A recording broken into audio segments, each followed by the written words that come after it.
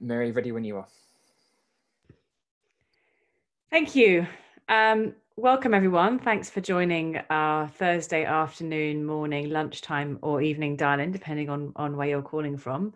Um, this has become a bit of a habit of open democracies um, under lockdown. Um, uh, I think probably most of you know know who we are and what we do, um, but um, Open Democracy is an online uh, global media platform that uh, seeks to challenge power and inspire change. Um, we do fantastic, awesome investigative journalism um, led by many of the people on this call. Um, we do serious comment analysis and debate. Um, and um, every week we host a discussion about some of the things that uh, we've been considering uh, in our work and our lives. Um, today, we're going to be talking about, again, coronavirus and how it's changing how we live, but also how we feel and what we think. Um, one of the key reflections that come that has come out uh, for open democracy as a team amongst many of us has been that it's easy for us all to say how the world should change after coronavirus or how coronavirus is changing the world how other people should change and realize they were wrong about certain things um, based on all our pre-existing certainties. So we think that there should be action on climate change. Well we're all going to learn that we should fly less as a result of this crisis um, many of us uh, already think that um, healthcare is a public good and, and should be invested in more heavily. Well, the governments are going to learn they need to spend more on, on healthcare. Um, you know, governments are going to learn that the universal basic income is something that they have to do. Um, it's very easy for us to tell other people what they're getting wrong and um, to argue with people we disagree with um, about things that we were sure of long before this crisis ever happened. Um, a harder thing for all of us to do is to admit what are we changing our minds about. It's an incredibly hard thing for any human being to admit they're wrong or that they've changed their mind about something. Um, and here i'm going to add a plug for the um, the depolarization uh, project um, one of our participants ali goldsworthy runs the the depolarization project um, which focuses a lot on um, how and why and when people change their mind. And there's indeed a podcast all about this. So um, go check out the depolarization project.com um, but uh, we wanted to uh, bring these kind of internal reflections and, and conversations uh, we've been having and, and share them uh, uh, with our readers and viewers and, and hear what you have to say about this too. So um, the first thing to say about all these calls is we want this conversation to involve you. Thank you to everyone who submitted questions and comments ahead of time. We're going to try and address as many of them as we can. Uh, if you're joining us on Zoom and you have a question or comment, you can click on the chat uh, icon at the bottom of your screen, type into the chat window. Um, uh, similarly, if you're joining from Facebook, you can do um, add comments or questions, and this will be fed back. You, will find that your microphones are muted. That's so people can talk one at a time, but we'll unmute you if um, we're calling on you for a contribution, and um, all the comments uh, and input will be fed to me. Uh, one final thing to say before we get started this is an evolving experiment. Um, my two young kids are downstairs and they may come in and interrupt us at some point. Um, Adam has a very cute dog that sometimes get, gets overexcited. Um, this very much recreates the atmosphere of uh, open democracy editorial meetings and lockdown. So uh, it's informal and slightly chaotic and slightly unplanned and, and unscripted at times um, but we hope that that you'll enjoy it and and you'll get something from it. Um, I'm going to start first uh, with Laurie Macfarlane, who um, is uh, Open Democracy's economics editor and co-author of critically acclaimed book Rethinking the Economics of Land and Housing. Um, Laurie, uh, you told us the other day that your thinking is evolving uh, on the EU, on the European Union. Can you tell us a bit more about that? Yeah, I mean, I'm I'm always someone who's believed in the basic idea of European Union, but um, been very critical of its basic institutional architecture, which I think from the beginning is has been kind of hardwired to exacerbate social and, and economic inequalities. And obviously, in recent years, we've seen this put to the test, really, with the eurozone crisis, where we saw the problems um, in in this architecture resulting in brutal austerity in some member states, um, and of course, to some extent, with Brexit. Um, despite all of that, though, I still maintained, I think, a, a narrow belief, a uh, bit of faith that the European project could overcome this and ultimately uh, thrive. Um, but I, I, suppose I'm sad to say that I think the coronavirus has made me reassess that somewhat um, in the sense that once again we've seen it's revealed the fault lines at the heart of the European Union, particularly between the North and South. And instead of seeing the kind of solidarity and political will necessary to kind of overcome these issues, we're really kind of doubling down on the hardened positions, which are really only going to make things much, much worse. So we've seen the so called frugal four Germany, the Netherlands, Austria, and Finland balk at the idea of Eurobonds, which would uh, basically enable all member states to borrow funds on the same terms to fight uh, the crisis. And, and we've seen this already, evidence that this is generating quite a furious backlash across the continent. Polls indicating in Italy that faith in the European Union has, has collapsed by up to 20%. Um, and so for me, this has really brought home, I think, the uh, this kind of sad reality for me that um, the question I think for for the EU is not whether it can thrive now, but sadly whether whether it can really survive. Um, I'm afraid I have my doubts. Gosh, that's uh, that's uh, that's bleak. Um, and uh, but to your point, um, uh, one of the questions that was uh, submitted bef- before this call um, was from Miklos, who said, why is the union unable to apply disciplinary measures against Viktor Orban's illiberal anti-union government? So you mentioned a lot of failings there, when it comes to economic um, and fiscal solidarity um, and and inequalities of of, of power. Um, there's the other so another uh, huge concern is, of course, um, the illiberal crackdown that's come that's going on in a number of, of EU countries, in which we discussed last week. Um, and actually, if you want to hear more about the way that uh, coronavirus is enabling or uh, acting as a pretext um, for uh, power grabs, authoritarian power grabs across the world, you can sign up to our newsletter if you haven't already, uh, opendemocracy.net forward slash corona crackdown. Um, but this question specific about Orban and the EU's seeming hesitance or reticence to um, speak out um, and act um, when he's effectively made himself the dictator of Hungary in various different stages. Um, could you speak a, a bit to that? And then, Adam, I also wanted to come to you on this. Yeah, absolutely. I think there's two things here. I mean, the first thing to say is I think that Orban uh, is often uh, quite clever about the way that he's doing things, which is really stretching the rules without necessarily uh, over, or is quite conscious about trying not to overstep them. But the second thing I think to say is that despite on the surface being a, a, an entity, the EU, that is a rules based bloc, in practice, uh, it is is not really. Uh, it's much more operates according to its internal power dynamics, and EU laws and rules are. Uh, you know, not sort of permanent lines in the sand, but they're always being bent, broken, contested, revised, ignored, particularly by the larger, more powerful states. And actually, one thing I think people don't often recognize is that the, the state that breaks the rules the most, by far more than anyone else, you know, it's not Hungary, it's not Greece, it's Germany by far, um, and yet nothing happens. Um, and with Hungary, it's an interesting case because it plays a, a very important role in European supply chains, uh, and particularly uh, in Germany's economy.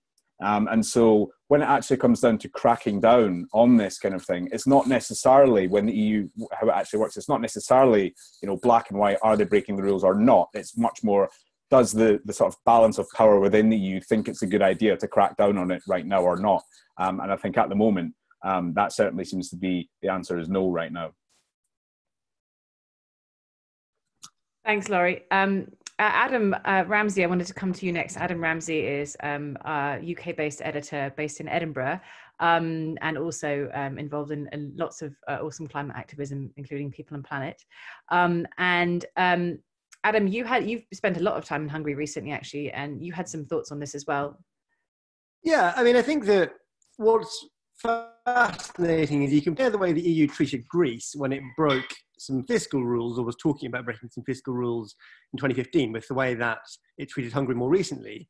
And it's a pretty depressing story. And, and I think Laura is exactly right that you travel around Hungary, the most kind of obvious thing you see on the edge of every town and city is the car factories that you know these famous german car manufacturers outsource their production of the kind of lower level lower skill level um, manufacturing of cars to hungary and, and other countries in the former eastern bloc and they rely very heavily on regimes like Orban's regime to drive down wages through their authoritarian regime. So although they will complain kind of about, in theory, the less democratic aspects, in, in effect, the German economy is reliant on this sort of uh, fairly robust regime in Hungary, and they never go too far in disciplining them. Thank you, Adam. Uh, yeah, um, Ian says, Laurie, you are right. Neoliberalism is locked into the structure of the EU. It needs to become democratic to survive federated. Um, and there are other uh, comments there um, agreeing with, with the key points uh, that you've made. I also wanted to flag up that um, Laurie's got a very, very interesting, uh, long, thoughtful piece um, published today on open democracy um, which is uh, the basic summary is from coronavirus to climate change, China is surging ahead of the US and its allies. Are we witnessing the slow death of liberal capitalism? Um, Adam's going to put a link to um, to that really thoughtful, um, uh, thought-provoking piece in in both chats. And um, the next week's Darling discussion is actually a discussion about that. So um, do have a read of that and and tune in if if you if you'd like to hear more. Um, now we're now going to go to Cape Town and to Kerry Cullinan, who's Open Democracy's global health editor, and she works specifically on tracking the backlash, which is the project which tracks the backlash against rights of women's and LGBTQI people across the world. Um, now, Kerry, um, in contrast to Laurie on the EU, your thinking uh, seems like it's going in the opposite direction on the African Union. You didn't used to be much of a fan, but now, explain. Well, the African Union has generally been a bit of a money waster, really. A, um, a talk shop and hasn't um, achieved much. Mostly, I think, because a lot of African countries depend on, on donor aid. So they're all competing with one another to woo the donors. But somehow with COVID 19, I think um, the continent has realized that they have to get their act together because the, you know, the continental blocks and the usual allies are busy helping themselves. So there's been an extraordinary alignment and, and very good working together, mostly through a technical committee called the Africa CDC, the Center for Disease um, Control, based in Addis Ababa. And they are negotiating directly with China for um, procurement of all kinds of personal protective e- equipment, PPE, and um, tests and so on directly with China to buy for the whole continent. They, they've they've um, set up a fund um, to, to help countries that can't help themselves. There's six countries in Africa that don't even have ventilators, not one ventilator at all. So they are um, there's South African companies that are starting to make ventilators, um, and they're going to redistribute them. And it's been really extraordinary to see this coming together of what didn't used to work before, and now suddenly um, they, they they really are getting their act together. Tomorrow they're launching something called the Partnership for um, expanding COVID-19 testing, and they're rolling out testing all over the continent and they bought the reagent um, for the tests directly from China. And it's going to be trying to stimulate local or continent African companies to make tests and ventilators and all kinds of things. So yes, pleasantly surprised.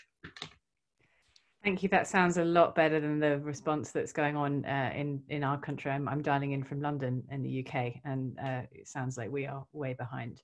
Um, uh, so I wanted to come next to um, Lydia Namubiru, who um, is also um, dialing in from Africa, from Kampala. Um, she's Open Democracy's Africa editor, and she also works on, on tracking the backlash. Um, uh, Lydia, joining us from Kampala, you had some interesting reflections on the role that African strongmen, i.e., dictators, are playing at this moment. Um, can you tell us a bit more? Yeah, so for a long time, you know, I've had really clear feelings about, you know, strongmen, which is I didn't like them. I did not see any place for them in the world, and I saw them as evil. Uh, but the the response and the leadership uh, shown uh, by people, by strongmen like Yoweri Museveni here in Uganda or Paul Kagame in, in Rwanda, was making me think, well, they don't they may not belong there, there may be just one moment in modern life where that is their moment and it, is this moment. When we're not talking about complex governance and democracy concepts we're talking about a simple thing lead a nation to counter a very simple thing like do, you know uh, avoiding an infectious disease. So um, the they uh, strong men tend to be very paternalistic in their leadership. But also, African societies are very often very patriarchal in their recognition of authority. And so, in this moment, when you just need and someone to lead the people. They're proving this moment. Is, this moment is proving to be their point, their their, their moment, and that's uh, so. Uh, but also, um, also, I have uh, as you know, we a lot of them started off as revolutionaries, as liberators, and over time we've been really, really disillusioned with them, what happened to them.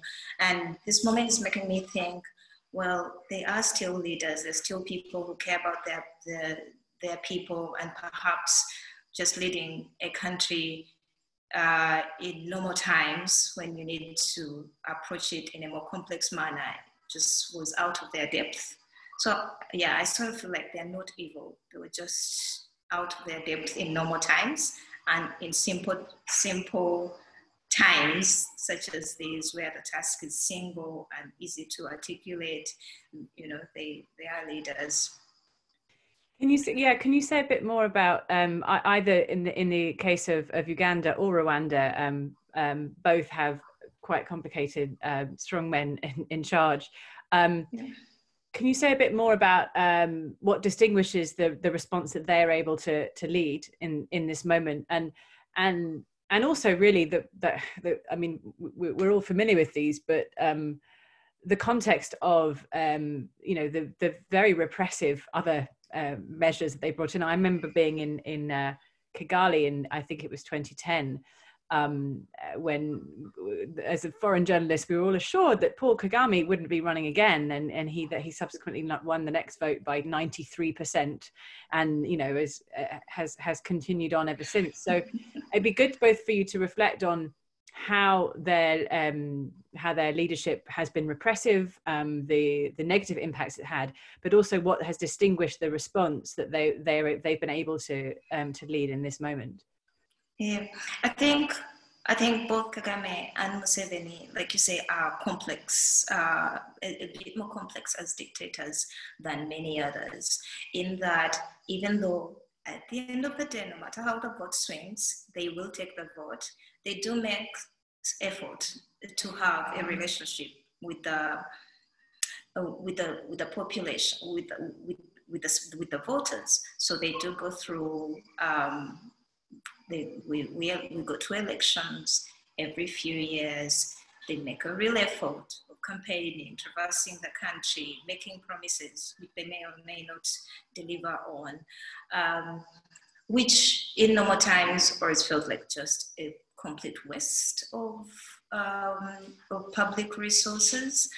But uh, in a time, I mean, if you're going to have a leader it turns out one who has some amount of rapport with this with with with the, with the citizens is better than I mean the alternative, which is a dictator who doesn't who, who is also you know hugely unpopular.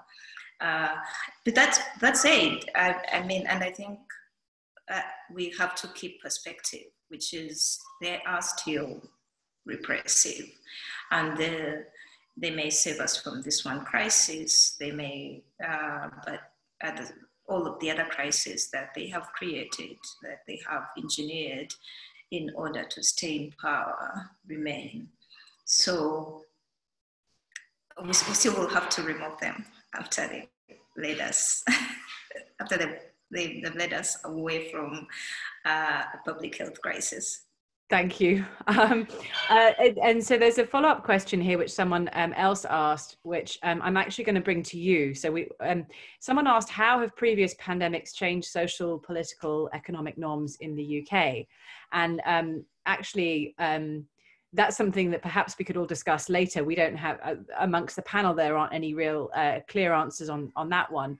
Um, but the question did um, make me reflect on something you pointed out, Lydia, a few days ago, which is um, the the potential crowding out effect that this um, pandemic is having on other really serious, grave, long term health ep- epidemics and health challenges and problems. So, six percent of Ugandans cu- currently live with HIV, and only seventy five percent have access to antiretroviral drugs, which means that people are still dying of this disease in um, in completely unacceptable numbers. Um, can you say a bit more about um, what the focus or attention on coronavirus is is potentially doing to those other really um, important problems? Yeah, and and I think, and yeah, and, and this is important uh, for people who are in the business of communication, which is to keep keep balancing the conversation with all of the other things. So Uganda, in Uganda right now, 1.4 million people. So 6% is about 1.4 million people living with HIV. And yet, at least for the past uh, many weeks, all public health effort has been thrown at uh, the coronavirus and containing its, its spread. Yet the government tells us there's only 55 confirmed cases, but oh, we are under lockdown. A lot of people, a lot of those people, even the 75% who have access, who had access to uh, ARVs cannot leave their houses. Public transport is banned. Private transport is banned. You cannot leave home to go to hospital to get a refill for your, you know, of, of ARVs. And that's true also for other existing uh, big killers, malaria, maternal health, and all of those. All of those are being exasperated in this sort of monomaniacal um, effort to, to prevent a new threat, which, yes, we are most scared about because we don't understand it as well as we understood the other. But yeah, I do think we both uh, at local levels, but also globally, we need, we need to keep like uh, zooming out to this isn't the only threat, uh, then that and responses to it should not be should yeah should should should not be blind to all of the other threats. Thank you. And um, Lydia has um, a really powerful piece which is being published um, on Saturday, which uh, absolutely makes this point. Um, uh, but but also speaks to um, the dangers of uh, replicating massive power imbalances in terms of who has access to uh, coronavirus treatment and who gets involved in trials um, to find vaccines and to find cures. It's really powerful. It's incredibly moving. I actually cried when I read, read it, and I would highly recommend you read her piece on Saturday. Um, you can sign up to opendemocracy.net forward slash newsletter if you haven't already, and, and you'll see Lydia's piece on, on Saturday. Um, I'm coming next to Claire Provost, who's um, dialing in from Turin in Italy um, and uh, is uh, the lead editor, our, our, global investigations editor, working specifically on tracking the backlash again with uh, Lydia and Kerry. Um, she's also worked at The Guardian and the Centre for Investigative Journalism. Um, and um, Claire, tell us what you've changed your mind on. You've gone back and forth on this bit. Yeah, so I'm not sure if I've changed my mind yet, but I, I, I do have um, something I would like to share, and I would love to get also thoughts on this from people in um, who have dialed in. So I've had a, I've long had concerns, and, and I think kind of an instinctual opposition to experts and to experts gaining increased authority and decision-making power in democracies along the lines of like, what does it mean for a democracy if important decisions that affect our lives that are deeply political are being made by unelected people, many steps removed from us. I, um, I don't have access to them in the same way I might to my MP. I already feel removed from my parliament. So experts, whoa, more so has sort of been the instinctual thought process. Um, but sitting in lockdown in Northern Italy after many weeks, I'm really glued to the TV screen, um, like when the WHO talks or when our national scientists talk. That's who I want to hear from, not our politicians. And I'm, I'm worried about, for example, politicians being lobbied by industries to reopen or to never close factories and, and some businesses in the first place. Many Italian factories are still open. Um, and you know, I've asked, I've been asking myself things like, would I rather like an unelected WHO style body to like, but with a mandate for to focused on health and human rights. Would I prefer them to manage this lockdown and tell me when I can start leaving my house or uh, then politicians and the police? And, and I think the answer is maybe yes, you know, and, and so I'm not sure if I've completely changed my mind about experts and democracies in the long run, but in this case, I have noticed myself thinking this, hmm, I think I prefer the unelected body here, which is a weird thing for me to notice myself thinking.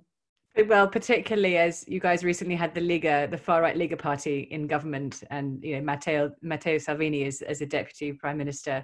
So I can I can absolutely relate to that, and I can absolutely relate to that based based on our leadership here in the UK as well. Um, another question for you, uh, Claire, which was submitted by Stephanie. Um, which was uh, what thoughts do you have on the impact of coronavirus on um, uh, the rollback of women's rights globally. And this is something um, that you and many of the colleagues have been publishing um, a lot on recently. So you could just touch on some of the key points and pieces that have, have come out recently um, on this. That would be great. Um, yeah, well, uh, this week we wrote um, an op-ed, for example, for Al Jazeera that did look at, at this at this question and also how um, as Lydia mentioned, there are long-standing crises that are being um, uh, exacerbated right now, or that people are maybe noticing now that they hadn't noticed before.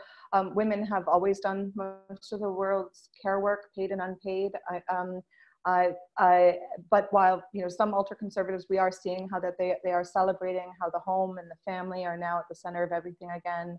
Um, but there are some people that are finding things that they that they like in this moment, um, how women are back at the home, uh, how um, abortions are harder to get, uh, how more unwanted pregnancies may be carried to term with women's reproductive choice like really massively curtailed.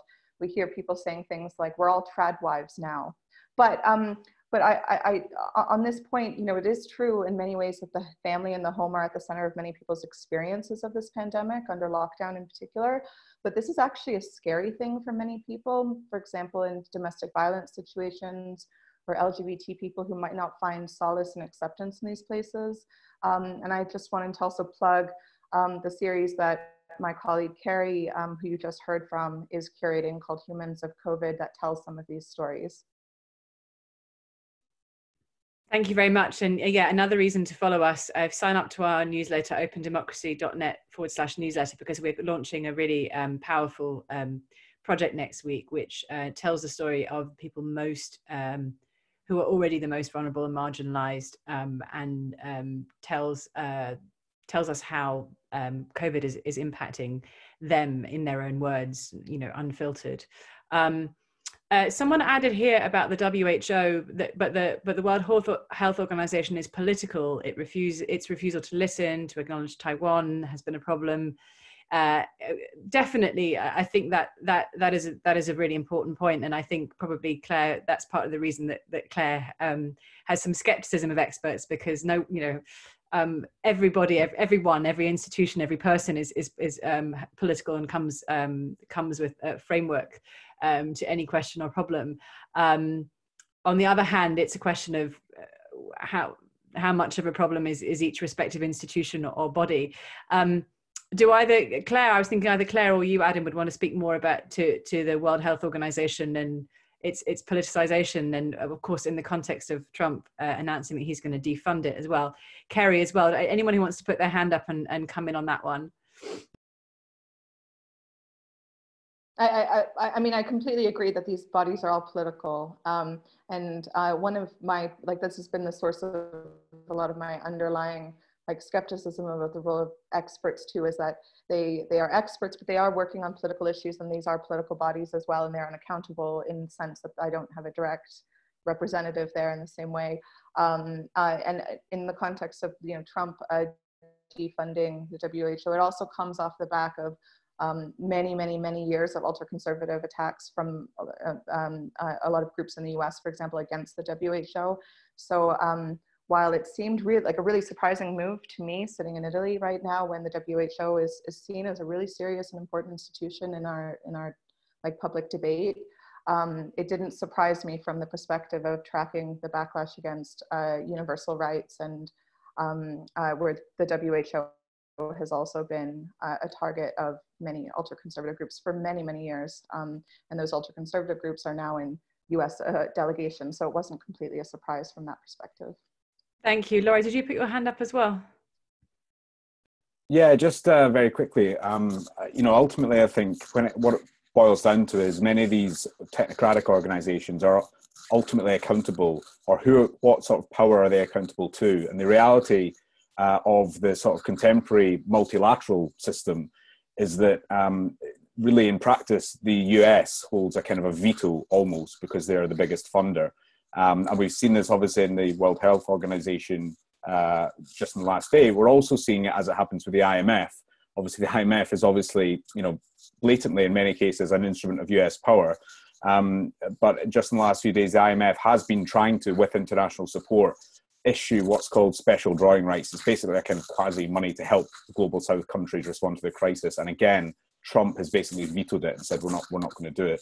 Um, so yeah, I mean, ultimately, this this balance between technocracy and democracy, ultimately, I think a lot of it comes down to again, uh, what sort of power are they accountable to? Thank you, Laurie. Yeah, and actually, um, a, a, thoughtful comment from Barbara Clark here, which is politicians are for scrutiny, weighing different dis- different perspectives for, for policy decisions. They're not experts, but experts are not policymakers. We need both doing their jobs with humility. Thank you. I think that's something many of us would, would agree with. Um, so uh, I wanted now, so talking about politicization, I wanted to come to and Adam last, dialing in from um, Edinburgh. You've written very persuasively about how there's nothing as political as a pandemic, and we can share that link again um, uh, in the chat. Um, but um, you've this this moment, this crisis has also prompted you to make some less political uh, reflections, which is very unlike you. It is indeed. I um, so for context, I grew up on a hill farm with the result that I have no romantic ideas about growing food whatsoever. It's a painful process which you know leaves you with a sore back and dirty hands, and I've got no interest at all in growing food. But despite that, two weeks ago, I um, practically became potato farmer. I uh, planted a you know whole vast number of seed potatoes in my garden for the very simple reason that our local baker is about to shut down because they can't get hold of flour. Um, since the late 70s, supermarkets have built more and more precarious supply chains. And you know, while I didn't stockpile food ahead of Brexit, as many people in the UK did, I think we are quite likely to see an ongoing increase in food prices uh, right across the world, and including here in the UK, where we have very precarious uh, supply chains. And um, while I think that you know someone like me, lucky enough to have a reasonably stable job, isn't going to go hungry. I certainly think that stocking up on large quantities of bulk carbs in a way that doesn't deny your supermarket the uh, the pasta that your neighbours might need is probably sensible for all of us to be doing. Thank you very much. Um, so there was a question here which is sort of related, um, and, and it's a, a, a conversation uh, we've been having as well, um, which is um, do you think this crisis will encourage us all to focus more on local action and decision making? So, you know, thinking at, at the community, the neighborhood uh, level, um, and is that a good thing or not? And I, I think the answer is basically yes or no. So tell us more. Um, yeah, I keep meaning to write a piece about rainbows in windows, as uh, you know, lots of people in the UK have been seeing on our daily walks, um, being posted up in, by our neighbours. Because I think that you know the, the way that um, the neoliberal model works politically is by persuading everyone that everyone else is very regressive and individualistic and selfish, rather than persuading us actually to be like that ourselves. I used to take people off on kind of canvassing um, uh, expeditions when I was more involved in party politics. And the main reflection people always had was they were astonished to discover that everyone was very nice and they do care about their community and they care about society and they want to know how to contribute. And this sort of idea that everyone else is selfish is really basically a myth. And what's fascinating about the current process is certainly here in Scotland, as far as I can tell across the world, we're seeing displays in windows of people's politics and the kind of solidaristic politics. We're seeing you know, every street pretty much in the UK being organised into kind of mutual aid groups with WhatsApp groups and email groups to help out more vulnerable neighbours and so on. And I think people are reconnecting locally in a way they haven't done for a very long time and discovering actually their neighbours are lovely and progressive and do care about each other and the kinds of things that they care about. And this sort of myth that we're all these sort of selfish individuals and those of us who care about the world are, you know, weird and a rarity and, and unusual is going to be busted. Thank you. Um, uh, there's one more um, thought I want to, to put to all of you panelists and everyone who's dialing in. Um, and I want you to think on this uh, uh, when we bring in uh, Ali Goldsworthy in a minute. So, uh, in view of the big rethinking of our values and lifestyles, what changes would we would you be able to continue with after lockdown? So, um, I'd love everyone to um, to be thinking about that. What's changed in my life? What will I con- what what change will continue after this lockdown phase? Um, and I wanted, I would love to invite Ali um, Gold, Goldsworthy, who's an Open Democracy Board member and, and also um, heads up the Depolarization Project um, out in Stanford, um, to tell us a little bit about why it's hard to change your mind and why often when people do change their mind, it doesn't last. No, it, thanks, Mary. It's been fascinating to listen to this. I suppose the thing is, is when people change their minds rather than change their behavior, they're often changing some of their core values. And that tends to happen much more slowly and over a period of time rather than with just one quick change of behavior. So I'd be very surprised if we saw huge changes in how we operated as a world or as a society over a period because of corona much as many of us might hope for that i think it, it would be unlikely to happen but a couple of things as people were were just talking kind of really struck me that people might want to reflect on which is uh, one when everybody's talked about changing their mind they say they've done it because they've had new information or something that's come in that's different rather than being like actually previously i assessed something incorrectly and i got it wrong. And it's even harder to admit that you got something wrong than it is to say that actually there's been new information. And that demonstrates just how difficult it is for us as humans. And I suppose that the second thing that comes from that is how we as people learn, or the, everybody listening in on this, is how do you respond when someone be a political leader or something else says actually i did get this wrong or there's been new information and i've changed my mind? And very often we tend to have a go at them for u-turning at that point. point and sometimes that's completely the right thing to do from a democratic accountability point of view. I mean that's why we're all involved in open democracy is to try and help hold people to account. But if something new has come in and someone's changed their mind shouldn't we praise them for that shouldn't we think that that's something that makes us more likely to want to work with them rather than less? And that's not really how we operate at the minute. And if a few people started trying to change that narrative and make it more influential then we might find that some of the changes we want from corona are more likely to last.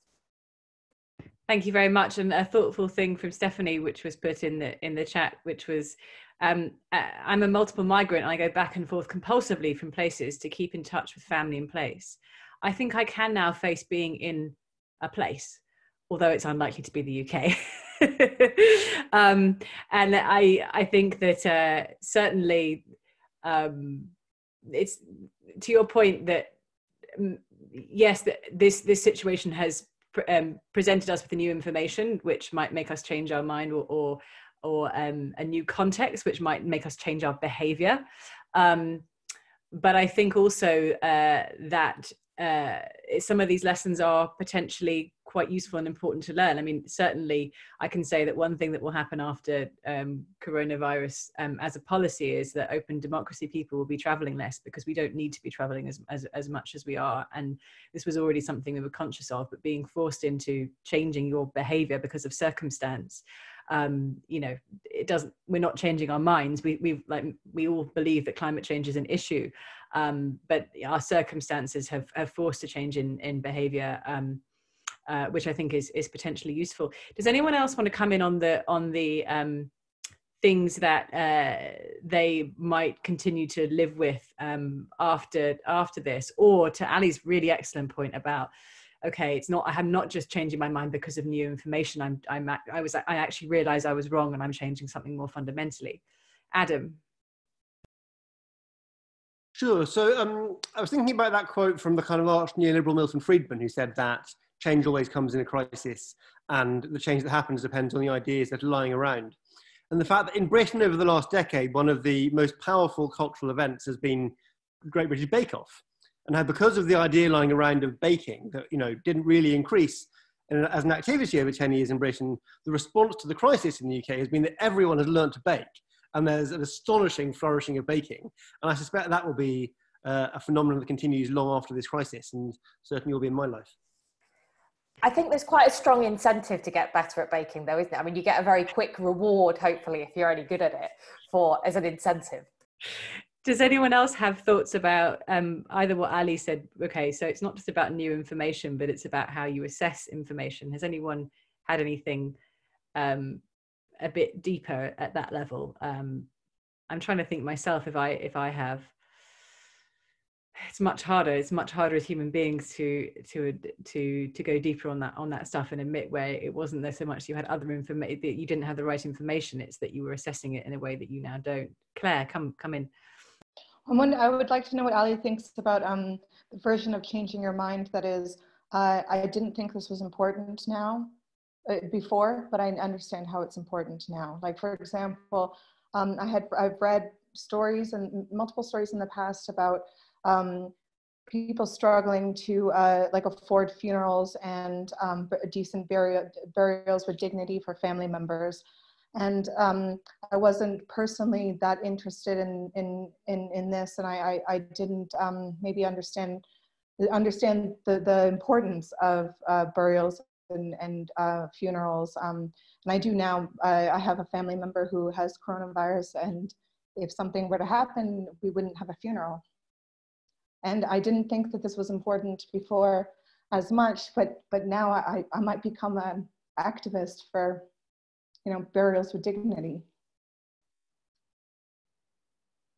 Yeah, I mean, I think that that's um, a really good point actually. The underlying thing about how people update the information is often down to a personal experience or a personal story. Like much as we all like to think facts change minds and we're very rational people you know there's an awful lot of evidence out there that suggests that's not the case. And it's either coming across someone or directly experiencing it yourself you're like oh like that's what happens. And that's what trumps people saying what's happening on a meta level. And it's one of the biggest challenges that exists for politicians is if somebody's had a, a, personal experience which is different to the norm by which i mean like the average in this sense it's really hard to appreciate that and to appreciate that you're not normal right? And and by dint of the fact that we're all working or involved with open democracy and people listening in none of us are actually terribly normal people in that we're all obsessed with this kind of thing. And recognizing that can be a little bit difficult at times. And i hope your family member gets better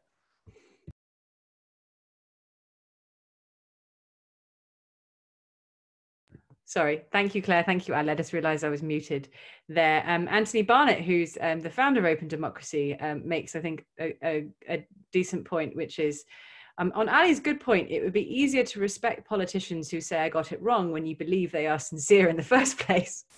Um, I wanted to challenge people and everyone here listening in, dialing in, and, and contributing, and, and on the panel.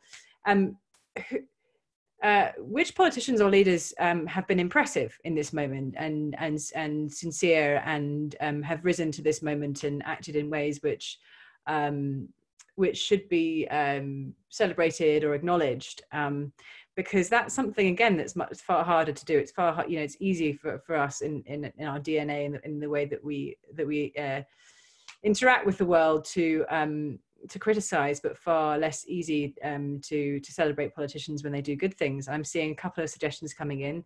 Kerry, um, South Africa's president, Cyril Ramaphosa, um, yeah, Jacinda Ardern uh, in um, uh, New Zealand, um, uh, uh, Berlin, um, as someone's impressed by Ang- Angela Merkel's leadership. Um, uh, Kerry, will you say a little bit more about Ramaphosa and the, and the context around that? Um, because South Africa had a run of, of pretty awful leaders. So what's uh, what's different this time?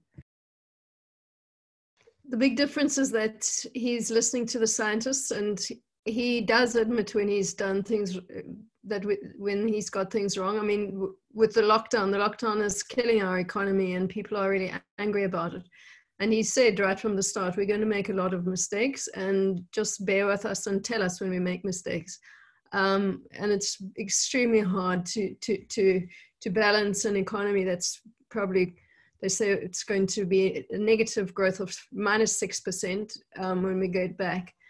And, and, and, and, and an illness that people can't quite grasp.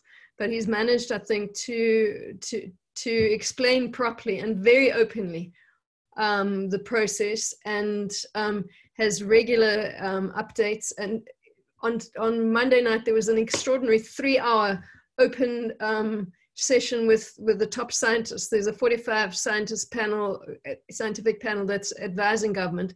And they were on primetime TV and anybody could, could, could, could listen and they explained step by step exactly what um, was um, what was their thinking behind the lockdown and and I, I think that it's it's it's helped enormously in, in, a country that's struggling massively with with economic issues Thank you very much. Uh, Anthony says, I like the way Conte is having a real argument with the EU and seems to be getting somewhere, which loops back to, to Laurie's uh, first point.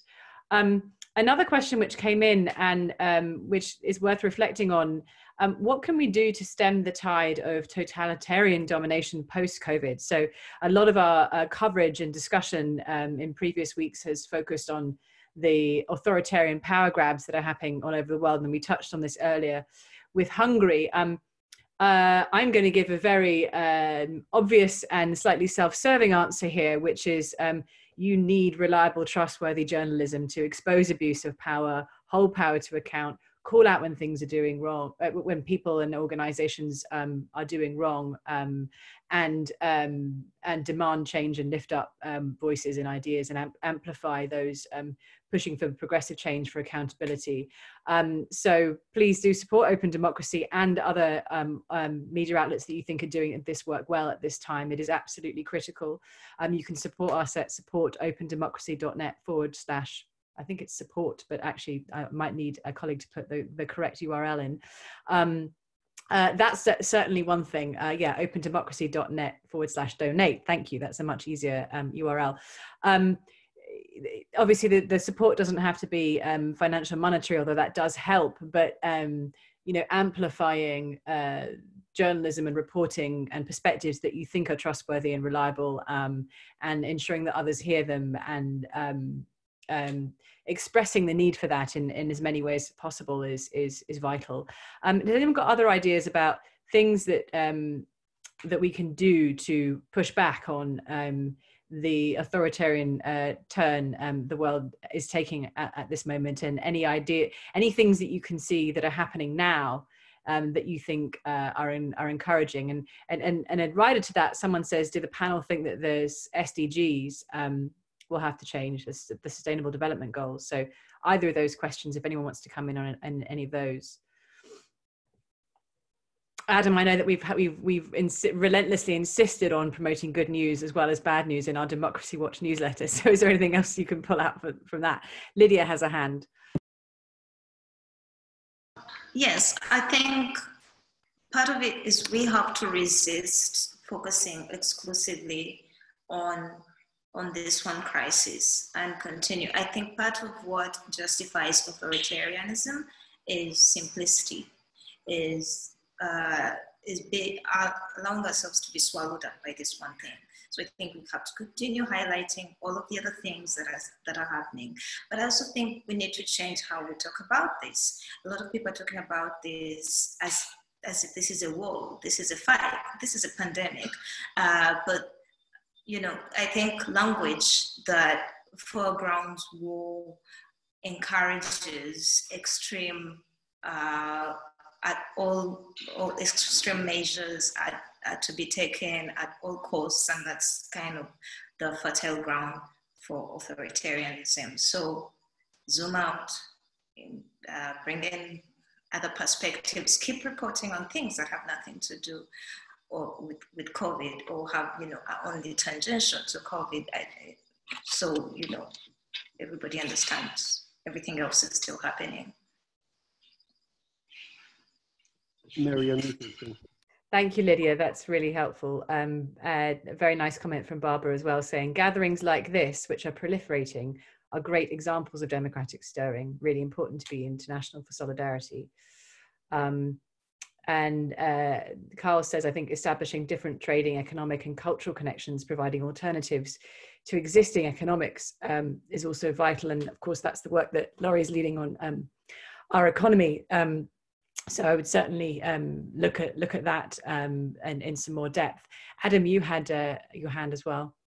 Just one more thing, which is that um, I've been very struck by the way that people who aren't used to feelings of solidarity with their community are often, in my experience, really enjoying that at the moment, but have been encouraged to label those feelings as a kind of national sentiment. So I wrote a piece, for example, criticizing the Queen's speech in the UK for, for doing exactly that, for kind of wrapping the flag around a set of quite vulnerable feelings that we all have and naming them as kind of British rather than global and human and solidaristic. And I got quite a lot of kickback from various of my friends, including some doctors, saying, you know, I've been enjoying this rising national sentiment. And of course, the, the problem with that is that's how authoritarianism wins, is that they label a kind of positive feeling of solidarity that we all have as something to do with a kind of nation and therefore the state, and they use that feeling to discipline others and minorities and so on.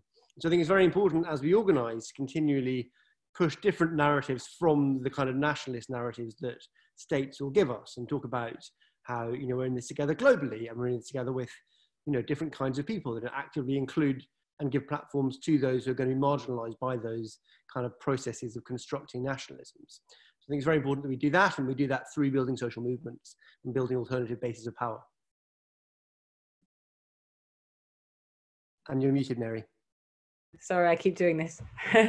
um, so many of uh, uh, the most important stories we're telling at the moment are common and universal and human, and we, we are noticing um, threads and patterns and trends uh, that cross borders and um, stories that um, uh, have common threads, whether they're in Ecuador or, or Uganda or um, Armenia um, or the UK. And there is something uh, quite alarming about the way that our government um, is uh, framing uh, this battle, as, as Lydia um, pointed out, this battle against um, the pandemic as some sort of great British war effort. Um, and, and indeed, that myth of British exceptionalism has led uh, to a disastrous path where um, you know, bodies like the World Health Organization were ignored for far too long, and we are now going to have the highest death rate in all of Europe, even though um, the crisis hit here uh, relatively late. Um, so this these questions of, of um, um, how we do things and who we are and whether we're being patriotic and, and how we respond as a nation are actually often questions of life and death. And, and certainly the UK is experiencing that right now. Um, so thank you for making that point. Um, I am going to wrap it up here. Um, thank you all so much for participating. Um, please continue to follow us on Twitter and Facebook um, in our newsletter. Um, and um, please uh, dial in next week um, for Laurie's uh, discussion about um, uh, how um, China might be re- re- remaking um, the global world order. And um, certainly that's a theme that's been picked up a couple of times uh, today. So, um, yes, thank you for joining. Um, please support us, uh, Open Democracy, if you can. And please continue to read and listen and watch and, and discuss things with, with us. We've really enjoyed having all of you participate. Thank you. Thanks, everyone. Bye. Bye-bye. Bye.